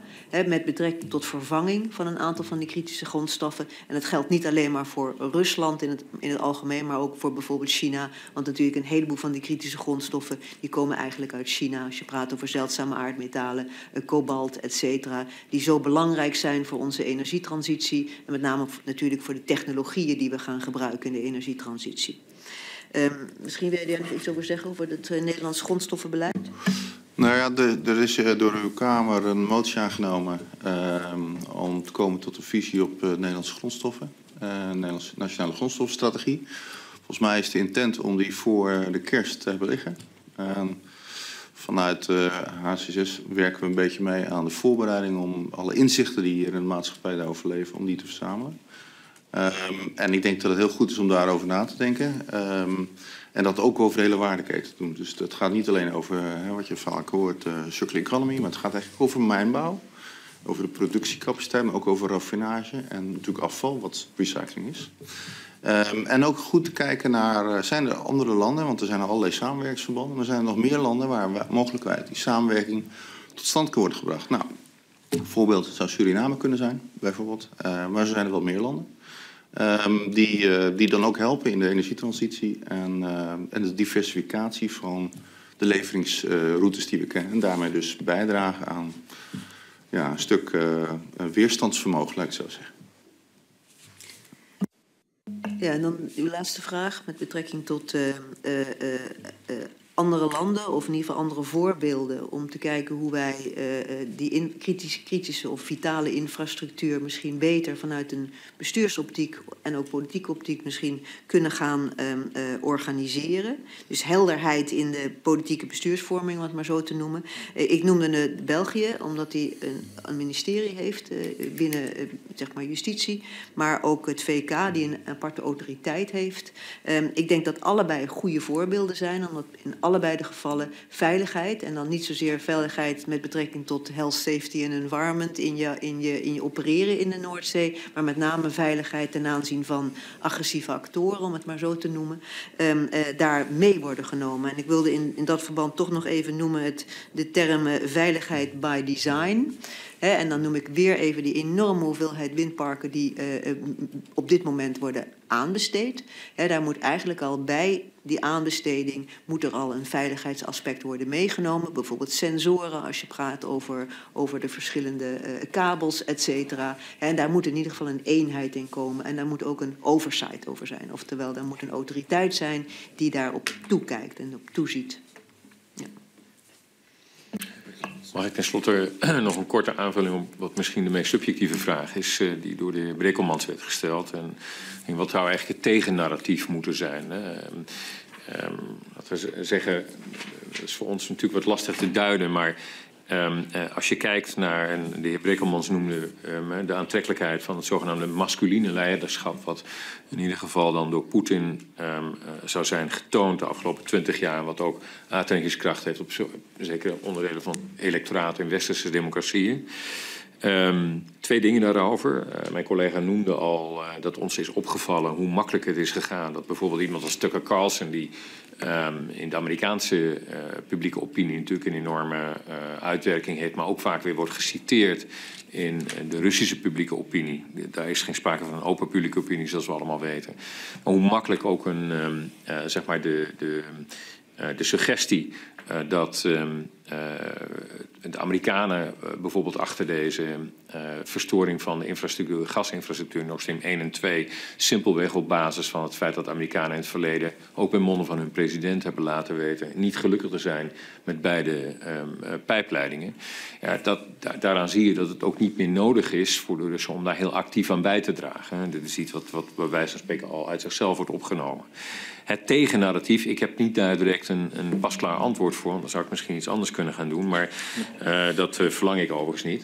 Maar um, uh, laat ik zo zeggen, als we dan toch in de Verenigde Staten zitten, in de Verenigde Staten zou heel snel de bumpersticker worden ontw ontwikkeld. It's the inflation, not the invasion, stupid. Tenminste, dat zou ik me zomaar kunnen voorstellen. Dat is een beetje waar politici in uh, westerse democratieën toch uh, over moeten gaan nadenken. Dat als je de principes van je um, uh, democratie en soevereiniteit, de onaantastbaarheid van grenzen um, wilt uitventen, dat dat tegelijkertijd ook een prijs voor je eigen bevolking met zich meebrengt. Nou, de afwezigheid van, van, van dat verhaal in westers politiek leiderschap is ook wel iets wat ons opvalt en wat, wat ons in ieder geval niet helpt. Uh, wij denken dat het belangrijk is, daar gaan wij zelf ook vanuit, dat soevereiniteit, de onaantastbaarheid van die grenzen, uh, het kiezen van je eigen uh, politieke leiderschap en ook je militaire en, en, andere coalities, dat dat nou eenmaal hoort bij een, een moderne wereld. Um, dus, dus die principes zouden in ieder geval um, moeten worden benadrukt in een verhaal. Dat zou een tegennarratief sowieso moeten bevatten. En ik denk dat veel duidelijker zou moeten worden gemaakt dat er niets eervols of niets masculiens is aan een leiderschap wat zijn eigen soldaten um, uh, als kanonnenvlees gebruikt. Want wat er nu gebeurt met deze mobilisatie um, is dat het een tipping point is in de, um, ja, in, in, in, in de ook de binnenlandse steun die, uh, die het Russisch leiderschap mag verwachten. Um, kijk, het heeft nooit veel uitgemaakt dat de Russen uh, breadlines bombarderen of hielpen bombarderen in Syrië of in Tsjetsjenië. Um, uh, maar laat in ieder geval helder zijn dat de Russen ook, althans dit leiderschap in het Kremlin, zijn hand er niet voor omdraait uh, om 200.000, 300.000 jonge mannen op te roepen om ongetraind te dienen als kanonnenvlees in, in de Donbass. Nou, um, dat mag wel wat vaker benadrukt worden, zou ik zeggen. Helder, veel dank voor alle duidelijke antwoorden. Um, ik stel voor dat we nog een rondje doen. Heer Kuzo niet. De heer Droom. Ja, ik zou toch nog even willen ingaan op het betoog van mevrouw Van Geuns. Hè, want dat richt zich, uh, ging eigenlijk, naar mijn beleving in ieder geval, vooral over uh, de energie, het gas, de olie. Um, maar er zijn natuurlijk veel meer dimensies. U heeft ook al aangestipt hè, de kwestie van, uh, van de grondstoffen. Uh, maar je kunt ook kijken naar ontregeling. Uh, want het hoeft niet altijd te gaan om iets wat Rusland aan ons levert. Maar de mogelijkheden van Rusland om dingen in de wereld te ontregelen. Ik denk bijvoorbeeld aan voedsel. Hè. Er zijn veel auteurs nu uh, die ik heb gezien die zeggen... dit gaat niet alleen maar voor uh, Rusland en het Westen uh, gevolgen hebben. Dit gaat voor de hele wereld gevolgen hebben. Um, en het is heel moeilijk voor mij in ieder geval om in te schatten... wat die gevolgen dan zouden zijn en hoe groot dat zou kunnen worden. maar als dat grote gevolgen zijn, dan zal dat ook weer op ons terugslaan, denk ik. Um, en uh, nou dacht ik dat de heer Koeser daar straks zei van, nou ja, uh, we komen de, de winter dan nog wel door, uh, misschien. Hè? Misschien kan het uh, gaan lukken. Ehm, maar als ik Rusland uh, zou zijn, als ik het Russisch leiderschap zou zijn, dan zou ik denken van, dat, dat misschien, ik moet zorgen dat dat een zekerheid wordt. dat, dat de boel hier in het Westen gewoon totaal uit de hand loopt. Um, dus um, ja, ik weet niet of dat ook uh, in uw uh, overwegingen uh, wordt meegenomen, maar dat zou mij wel bezighouden, die vraag. Dank u. Ik, ik, wil hier graag mee beginnen. En denk mijn collega's hier ook wel iets over te zeggen hebben. Ja. Uh, ik denk dat Poetin alleen maar aan het ontregelen is. In alles. Hè? En dan uh, heb ik nu gas en olie, maar ook kolen en ook uh, uh, grondstoffen meegenomen. Maar hij is alleen maar aan het ontregelen. Eigenlijk door elke keer boycotts, of in ieder geval een zet eerder te zijn in het schaakspel dan misschien Europa of misschien Europa met Amerika en VK doen. Vooral met betrekking tot boycotts voor gewoon belangrijke grondstoffen als olie en gas. En je ziet dat met name in het gas, elke keer net iets eerder dan wij. Als je kijkt naar het beleid wat Europa heeft afgekondigd met betrekking tot, uh, tot uh, minder aardgas importeren uit Europa, uh, sorry, uit Rusland, 66 procent. Nou, hij is ons al een stuk voor. Hè. We zitten nog misschien nog maar op 9 procent. Dus al met al, je ziet die ontregeling is, is voor hem denk ik een heel belangrijk aspect. Hè. En, en ik, je weet natuurlijk niet wat er is gebeurd in, bij Nord Stream 1 en 2, maar het is ook een vorm van ontregeling of Rusland daarachter zit, de verdict is out. Dat weten we nog niet. Maar het heeft wel al veel ontregeld. Je ziet dat al in de afgelopen dagen. Een hele hoop, zowel Denemarken, Noorwegen, Zweden, iedereen alert. Hoe zit het met onze vitale infrastructuur, zowel op land als op zee? Hoe hebben we dat georganiseerd? En dat kan enorm ontregelend gaan werken. Dus die ontregeling, ik denk daar is Poetin erg goed in. En met betrekking tot voedsel, misschien een van mijn collega's die daar nog iets over wil zeggen. Maar dat is, en die keten daarin, er zit natuurlijk ook een keten in. Vooral als bijvoorbeeld in de winter er echt een leveringszekerheidsprobleem is. Bijvoorbeeld omdat er echt met betrekking tot de pijpleiding uit Noorwegen gas, die heel belangrijk is voor Europa, naast de LNG die we nu importeren, dat daar iets mee gebeurt. En ik bedoel, think the unthinkable, dan, hè, dan is er een leveringszekerheidsprobleem in Europa. En dan geeft dat ook weer een enorm ja, zeg maar keteneffect in, en ook sociaal-maatschappelijk uh, uh, is, dat, is dat onrust. Ja. Ja, ik kan wel even wat aanvullen, met name ook ten aanzien van het voedsel. Daar haal ik even het, klimaat ook bij. Um, en dan kom ik even met een voorbeeld. Vorig jaar zijn in Canada zijn de grote oogsten van van een aantal edible oils, zoals het mooi heet. Die zijn voor een belangrijk deel gelukt. Dat heeft tot een verlaging van zo'n 30% van de wereldwijde productie geleid. De hoop was uh, in de tijd dat, uh, dat de zonnebloemolie uit Oekraïne dat zou kunnen repareren.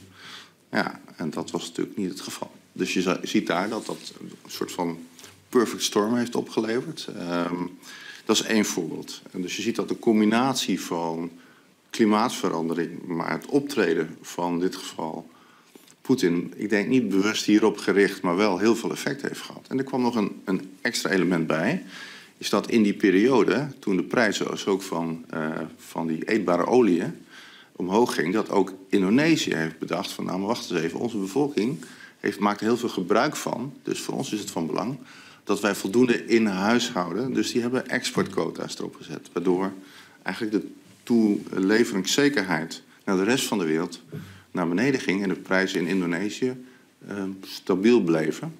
Uh, dat is een maand of twee zo gebleven. Daarna is het, die de bende weer afgehaald.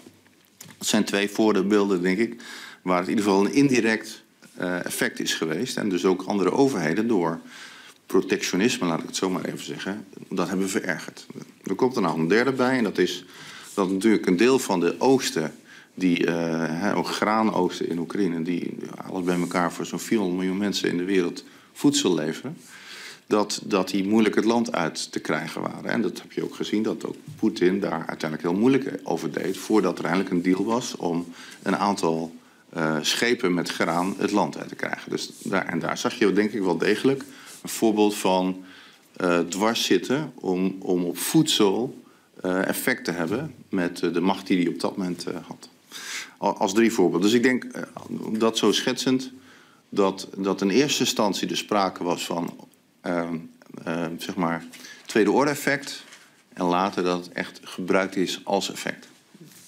Misschien mag ik aanvullend op uh, wat collega Rademaker hierop voorbrengt. Kijk, um, voor voedsel geldt wat we voor energie ondertussen wel zijn gaan begrijpen. En dat is dat je eigenlijk uh, naar dit soort cruciale productiefactoren en ook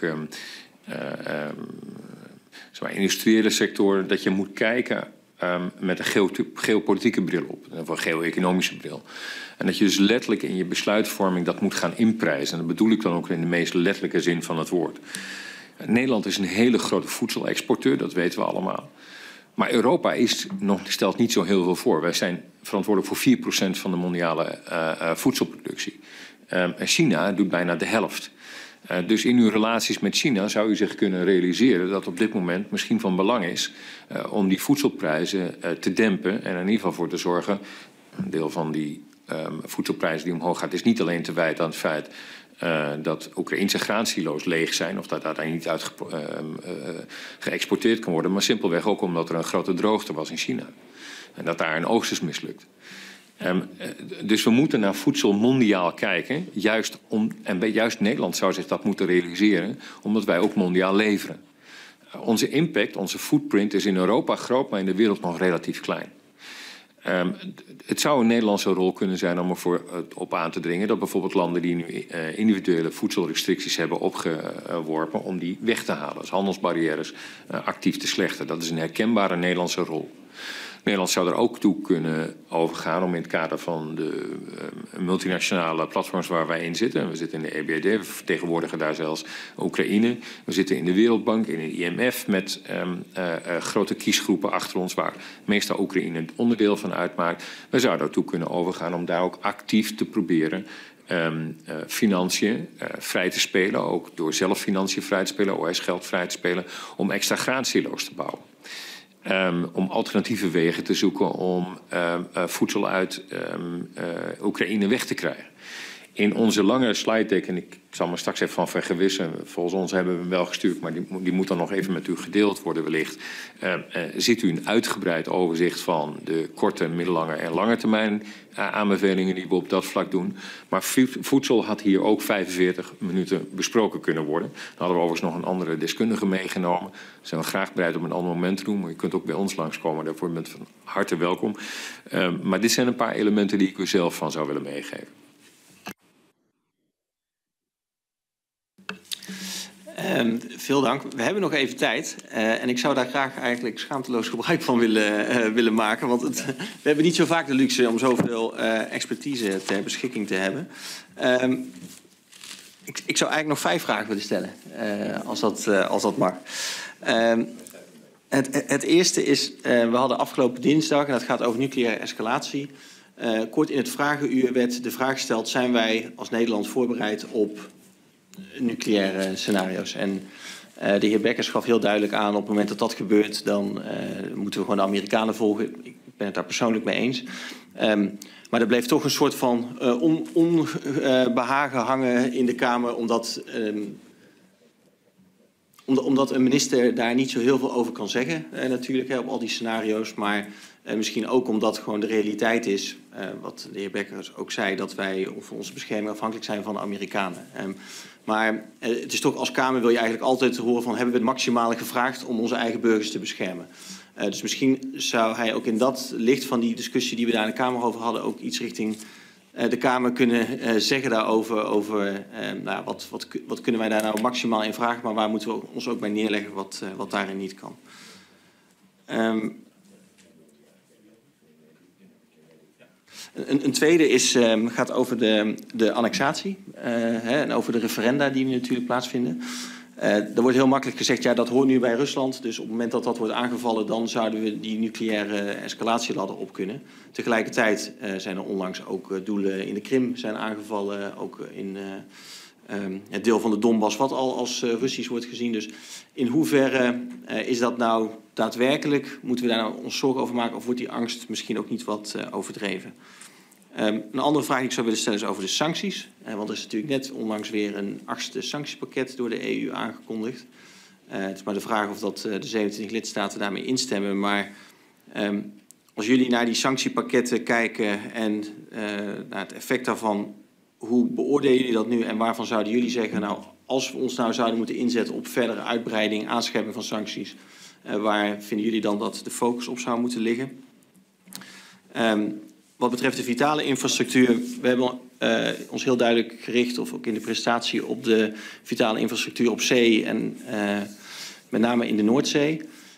Waar jullie heel duidelijk aangeven, daar is een lacune. Uh, wat betreft de bescherming, verantwoordelijkheden, capaciteit. Zijn er ook nog andere, is de vitale infrastructuur waarvan jullie zeggen, nou, als we een tweede zouden mogen noemen, waarvan ook geldt dat we ofwel de capaciteit of de taakverdeling nog onvoldoende op orde hebben. Wat zou dat zijn? Is dat de haven van Rotterdam? Is dat ons elektriciteitsnet? Uh, wat zouden jullie dan als tweede noemen? Um, en tot slot, dat is een, eigenlijk een, een, hele brede vraag die aansluit op de discussie die we net hadden over, over voedsel. Um, er is op dit moment uh, natuurlijk ook een. De wereld bestaat uit grootmachten met invloedssferen, maar er is ook een hele grote groep landen die ergens daartussenin zit. En waarvan ik persoonlijk denk dat we daar ons buitenlandbeleid anders op zouden moeten inrichten en waar we ons anders toe zouden moeten verhouden om ervoor te zorgen dat die landen dichter bij ons uh, komen. Um, en tegelijkertijd zien we dat ons buitenlandbeleid nog steeds een allegaartje vaak is van allerlei thema's en prioriteiten. Um, dus ik vroeg me af, we hebben ook uh, de begrotingsbehandeling uh, binnenkort, wat natuurlijk een heel breed debat is. Zijn daar bepaalde aanbevelingen jullie daarin zouden doen? Als we nu kijken naar ons buitenlandbeleid. of dat fundamenteel, of dat we dat zouden moeten herzien en wat jullie aanbevelingen daarbij zijn. Ik zal even kijken of we, het, uh, of de allocatie een beetje goed hebben gedaan. Uh, ik heb uh, de nucleaire escalatie, daar zal Frank Bekkers ehm, de, de eerste eh, openingsset voor doen. En ik wil daar zelf nog iets op aanvullen. Met betrekking tot het AIV-advies wat we een enkele jaren geleden hebben gezien. annexatie referenda, pak je ook de eerste in mee. het aanscheppen van sancties Um, zullen we ook iets over zeggen? Kan ik ook iets over zeggen? Uh, vitale infra op zee. Uh, vermoed ik dat we eerst even kijken naar Lucia en dan. Ja. Um, voedsel kijken we eerst naar en uiteindelijk de aanbevelingen voor het buitenlandbeleid. Die pak ik. Frank. Um, ik weet niet zeker of ik een goed antwoord geef op uw vraag. Um, wij kunnen tot op zekere hoogte, dus, dus in een nucleair engagement is Amerika in de lijn. We zijn volkomen afhankelijk van de nucleaire uh, deterrence, uh, de nucleaire paraplu van, van Amerika, zowel in de deterrence, in de afschrikking, als, in, als, het echt, als er echt iets aan de hand is. We kunnen daar een hele kleine invloed op uitoefenen, omdat Nederland ook een nucleaire taak heeft. onder de vliegtuigen kunnen wij nucleaire, onze jachtvliegtuigen F-16 en F-35 kunnen wij nucleaire bommen hangen. Uh, die vervolgens wel onder Amerikaans uh, leiderschap, onder Amerikaanse commando worden, worden, zouden worden ingezet. Dat is wel zijn een hele kleine weg waarop wij in ieder geval in die discussie een rol hebben. Dat betekent niet dat wij gelijk de zaken bepalen, maar ik weet niet zeker of dat een antwoord op precies de vraag is die u stelde. Maar Nee, de, de, de, ja, deels. deels ja. en wel een hele belangrijke opmerking. De vraag dinsdag was meer... Um, kijk, stel dat Rusland overgaat tot een, en, en dan de verschillende scenario's. Maar liggen er dan de draaiboeken in Nederland klaar over hoe we ja. onze eigen burgers daartegen beschermen? En, onze ja. eigen, ja. Um, en, en daar bleef een soort van onbehagen hangen dat we daar als Kamer. Uh, nou ja, uh, ja ik, de, jodiumzout en de. Precies, en de, ja, ja, ja, ja, Dus uh, de, de Colijn waakt over. Ja. Nee, maar uh, dat onbehagen deel ik. Laat, laat ik het heel kort houden. Ik, ik denk dat dat onvoldoende uh, doordacht is. Ja, laten we het heel kort houden. Ja. Uh, het tweede die ik even pak is de referenda-annexatie. Uh, we hebben eerder uh, inderdaad ook beschietingen op gebieden die Rusland al wat zijn beschouwde gehad. Met name de Krim, hè, wat ook eerder geannexeerd is. Ja, er is wel een. de grote gamechanger is dat Poetin nu aan de verliezende hand is. Dat was in, de, in een dynamiek waarin het allemaal nog min of meer een padstelling was. Um, wat we nu zien is dat, dat Poetin uh, gebied uh, verliest. En nou, die window of opportunity waar we over gehad hebben, de mogelijkheid bestaat dat, dat Oekraïne veel verder gaat dan dat. En dat is de game changer. Dus dat, dat maakt het verschil. Ja. Um, sancties, daar kom jij ook op, maar ik zal één ding roepen. Als wij kijken naar de verschillende sanctiespakketten, um, Rob de Wijk heeft daar in diverse media ook wel vaak iets over, over geroepen ontbreekt wat ons betreft een duidelijke doelgerichtheid. Sancties hebben op lange termijn, kunnen op langere termijn effect hebben, wel degelijk. er zit altijd een tijdsvertraging in. Maar dan moet je ze ook wel zo inrichten dat uh, ze jouw doelstellingen ondersteunen en niet meer pijn doen dan jou niet meer pijn doen dan, dan je tegenstander. We zien vaak, ehm, het lijkt het, ehm, blijkt het, sanctiepakketten die eerder als straf bedoeld zijn en niet doordacht zijn in termen van effect. dus dat is mijn opmerking op, die, op die vraag. Han? Dat is een aardige opleg. Ik, um, in Nederland zien we vaak sancties en, en de roep om sancties. Ik heb dat zelf toen ik aan Nieuwkant ook zat ook wel vaak ervaren, misschien ook wel aan meegedaan, als een vorm van straf. Het past in ons idee om verkeerd internationaal gedrag te willen afstraffen en daar onze economische positie voor te gebruiken. En dat is misschien in de beste protestantse tradities heel begrijpelijk. Uh, maar sancties uh, zou ik niet in die Nederlandse context willen, willen zien. Dat is ook volgens mij waar uh, Rob de Wijk, die het instituut heeft opgericht, telkens op probeert te wijzen.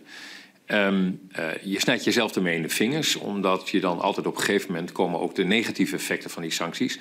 En je moet gaan uitleggen dat die sancties niet bewerkstelligen um, wat men verwacht van die sancties. In dit geval dat Poetin zijn oorlogskoers verlegt. Dat doet hij niet. Hebben sancties om die reden geen zin? Nee, die hebben wel degelijk zin, zoals wij in onze uh, product dat bij u achterlaten ook, ook, ook, laten zien uitgebreid. Is dat sancties um, wel degelijk de oorlogsmachine van Poetin op dit moment aan het haperen hebben gebracht. En dat zal in toenemende mate het geval zijn. Voor deze invasie had Poetin een um, economie die, waarbij hij koos voor fossiel. En die op zijn minst nog twintig jaar een florisante toekomst tegemoet zou zijn gegaan. En hij heeft zijn eigen window op dat vlak denk ik, met minstens de helft, als het niet nog meer is, bekort. Uh, dat is het directe gevolg van sancties. Um, en hij heeft ook niet heel veel mogelijkheden meer om dat heel erg te, te offsetten. Daar zal iets anders voor moeten zoeken. Maar het directe effect is wel dat wij, om die principes kracht bij te zetten en die sancties op te leggen, direct onszelf pijn doen. En als dat niet wordt uitgelegd, ja, dan, uh, dan dienen sancties vooral een, een, een moreel doel op het moment dat je daarom roept. Um, ik vond dat bijzonder uh, kenmerkend op het moment dat de zesde sanctiepakket werd aangekondigd. Daar zaten sancties in waarvan je kon nagaan dat het Poetin afhankelijk zijn oorlogskast zou gaan vullen. In plaats van zou gaan legen. En dat het onze huishoudbudgetten juist zou gaan aantasten. Um, nou, dat is iets waar u beter over zou kunnen nadenken. En, nou, gecombineerd met hoe wij sancties opleggen. Uh, wij zijn een, um, een economie met um, enorm veel buitenlandse verbindingen. Nou, als je dan ziet dat ook daar, uh, de heer Blok is daar een tijdje voor verantwoordelijk voor gemaakt, het zo lang duurt voordat we effectief sancties kunnen opleggen en dat we eigenlijk amper weten wie we daarvoor moeten aanspreken. In de Zuidas zijn er heel veel advocaten die weten hoe je sancties moet omzeilen. Um, uh, maar sancties opleggen is voor Nederland toch een stuk lastiger. Er is een halve Nederlander, halve Amerikaan, Nicolas Mulder, die daar een fantastisch boek over, over heeft geschreven. Aan de Cornell University geeft hij les. Hij spreekt goed Nederlands, u zou misschien eens moeten uitnodigen. De Economic um, Weapon, The Rise of Sanctions as a Tool of Modern War. In dat boek um, uh, heeft hij 100 jaar sancties um, geëvalueerd.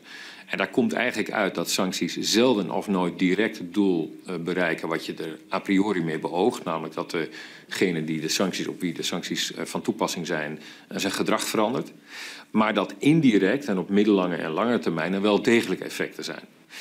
dus sancties zijn een botwapen Um, het is het laatste wapen in de toolbox van, van, van, van je buitenlandbeleid voordat je uh, um, uh, militaire wapens zou moeten inzetten.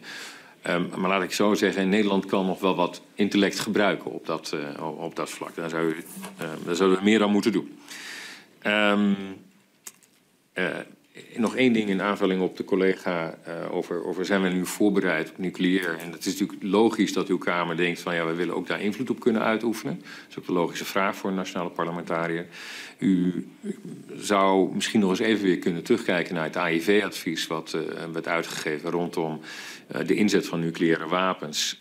En bijvoorbeeld ook, en het beperkte zich in de publiciteit vooral over de inzet van de ISF en nucleaire taken onder vleugels van de ISF. Wat ons opviel in het instituut is dat destijds die discussie vooral ging over moeten we dat willen of niet. Um, maar het denken over nucleair lijkt sinds de jaren tachtig wel wat, en is misschien nog heel gelukkig hoor, maar lijkt wat te zijn geërodeerd. Omdat um, uh, wie denkt over een nucleair inzet van bijvoorbeeld um, uh, de ISF, de F-35, Ja, die kan zich ook realiseren dat uh, je daarmee, de Nederlandse regering, een aantal stappen uh, uh, actief een besluit moet nemen. Bijvoorbeeld over het invliegen van die wapens. Daarna het monteren van die wapens onder um, de vleugel van een F-35. Vervolgens het, het, laten opstijgen van een F-35 met zo'n wapen. Dat zijn allemaal actieve besluiten die een direct kabinetsbesluit vergen. Waarmee je dus kunt zeggen dat als je dan een speler bent en je neemt die taak serieus, dan heb je ook invloed. Heb je die invloed niet omdat je die taak niet accepteert, ja, dan vraag je dus aan bondgenoten binnen de NAVO om dat te doen. En laat ik maar zo zeggen, in, Polen denken ze anders over het inzetten van nucleaire wapens, eh, als dat nodig zou moeten, uh, moeten zijn, uh, dan, uh, dan in uw Kamer. Dat daarover. Um, Lucia, mag ik dan het woord aan jou geven? Ja, dat is met betrekking tot de vitale infrastructuur. We hebben het natuurlijk net echt gehad over de fysieke vitale, uh, vitale infrastructuur in de Noordzee. Uh, er is natuurlijk ook nog een heel cyberdomein waar van alles kan gebeuren. Dat is zowel zeg maar offshore, maar ook onshore. Er is, uh, de, de wereld wordt steeds digitaler. En ook onze vitale infrastructuur, ook als je praat over water, maar ook als je praat over bijvoorbeeld havens. Wat ook, de haven is een vitale infrastructuur uh, al met al. Dus daarin zit ook wel, zitten aspecten in de, in de slidepack die wij, dus de meer uitgebreide slidepack, komt dat uitgebreid aan de orde. We hebben dat nu niet zo specifiek over gehad. Maar er zijn natuurlijk op land, als je praat over fysieke infrastructuur, ook elektriciteit, dan is daar, zijn daar wel veel meer met maar richtlijnen voor. En je kan het ook zien. Hè, dus wat dat betreft is er wel een, wel een duidelijk verschil tussen de offshore of tussen zeg maar onder de zee en op, op, op de zeebodem en, en op het land. Maar misschien heeft een van mijn collega's nog hier een aanvulling op.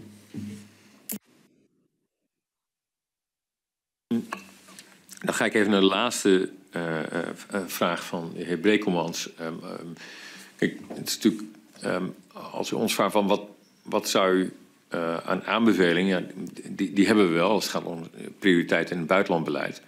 Maar misschien mag ik ook iets zeggen, wat ik, omdat ik aan uw kant ook uh, gewerkt heb, wat mij is opgevallen sinds ik uh, bij dit instituut werkzaam ben. Wat mij is opgevallen is als je in de Nederlandse besluitvorming op buitenlandbeleid, en buitenland- en veiligheidsbeleid met name, is dat wij um, niet heel erg goed geëquipeerd zijn. Dat heeft iets te maken met onze wijze van besluitvorming. Um, als het gaat om een crisis hebben wij de neiging om ad hoc um, uh, te kijken of we specialiteiten bij elkaar kunnen roepen om daarna met elkaar informatie te delen. Uh, de meeste, uh, mag ik zeggen, serieuze landen met serieuze veiligheidsproblemen, en Nederland zou daar toch echt wel bij horen wat mij betreft, uh, die hebben daar uh, geïnstitutionaliseerde uh, gremia voor. Ook rondom de besluitvormingscentra die, die een regering kent. Een nationale veiligheidsraad of een vorm van een veiligheidsraad is iets wat u volgens mij zich tegenwoordig in een regeerakkoord heeft voorgenomen. Wij zien daar nog niet zoveel van terug. Um, we zien wel dat we nu, um, maar dat geldt ook voor de collega's van Klingendaal en andere denktanks, um, ad hoc bij elkaar worden geroepen om bijvoorbeeld in de vorm van scenario's te denken. Uh, misschien ook soms omdat de departementen daar niet altijd alle tijd voor hebben. Um, het valt mij in ieder geval uh, persoonlijk op dat dat niet, um, dat is niet, dat is niet vastgelegd. Um, en ik denk dat er genoeg in de wereld uh, gebeurt. Dat zou rechtvaardigen dat u daar, laat ik het zo zeggen, dat u daar meer institutioneel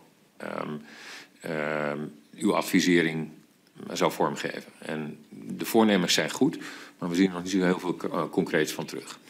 Dus dat zou een, een directe aanbeveling zijn waarbij ik uh, wel durf te zeggen dat ik daar met medes namens een aantal andere denktanks die hier vandaag niet aan deze kant van de tafel zitten spreek.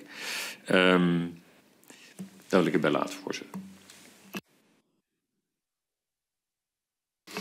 Oké, heel veel dank voor ook deze laatste ronde beantwoording. Ik kijk nog één keer heel snel naar mijn collega's of er nog een laatste vraag is. Zo niet, dan uh, stel ik voor dat wij afronden. Wij gaan uh, het slidepack met veel interesse uh, lezen. het zijn ook, ook verwezen nog naar andere thema's die daar verder in zijn uitgewerkt. Dus wellicht dat met alle ontwikkelingen in de wereld, debatten die nog volgen, dat we jullie of specifieke specialisten binnen HCSS zullen vragen om ons nogmaals en verder van expertise en kennis te voorzien. Maar voor nu in ieder geval heel veel dank.